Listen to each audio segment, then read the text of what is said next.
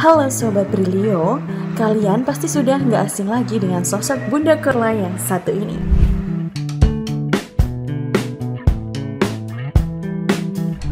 Namanya belakangan viral lantaran kerap melakukan siaran langsung di akun Instagramnya. Wanita bernama asli Cynthia Kurla Prislia tersebut sering kali menghibur warganet lewat aksi kocaknya saat live. Kau memang bandit ya. Ada aja lagu kau ya. Kau sembunyikan di mana lagu-lagu kau ah? Eh cucu, iya iya iya ini baru lagu.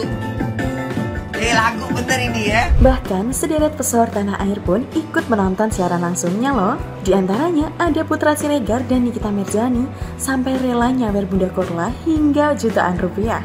Wanita berusia 47 tahun tersebut sebetulnya tidak baru di dunia hiburan.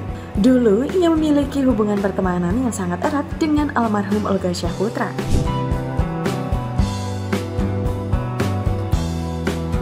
Lama tak muncul di televisi, rupanya Bunda Korla memilih untuk pergi ke Jerman tahun 2004 silam. Kini Bunda Korla bekerja sebagai pegawai rumah makan cepat saji dan hidup sendiri.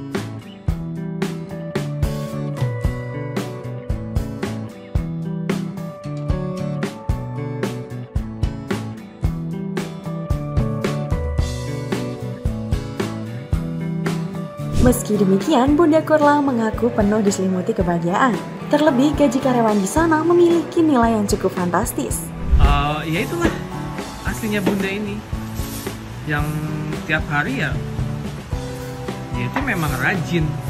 Apa pun dia kerjakan dan dia bahagia.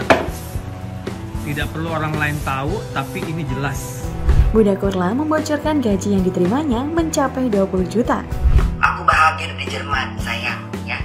Gaji bunda itu, ya, 1.600 bersih. Paham?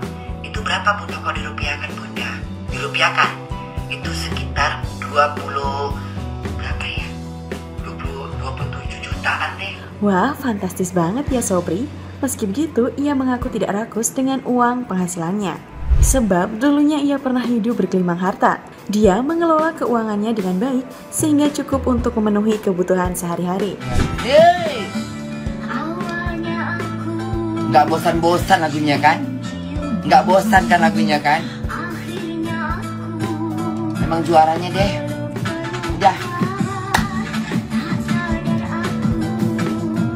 Ditusuk setan. Bocoran gaji yang dilontarkan Bunda Korla sontak membuat para warganet terkejut. Nah, kalau kamu kira-kira tertarik gak untuk kerja di Jerman? Tulis tanggapan kamu di kolom komentar.